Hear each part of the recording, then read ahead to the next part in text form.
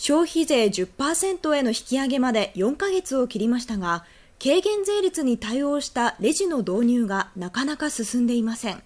経産省は全国で対応を促すための活動を始めました。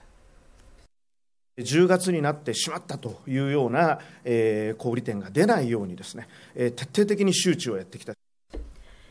軽減税率が導入されると、同じ商品でも税率が異なり、それに対応したレジが必要となります。政府は中小企業向けに補助金を用意していますが、申請は4割以下にとどまっています。本当に10になるのかどうか その辺がまあやらなきゃいけないことでしょうから、まあ、これから考えながらやっていこうと思います経産省は全国でレジの説明会を開き導入を促す方針です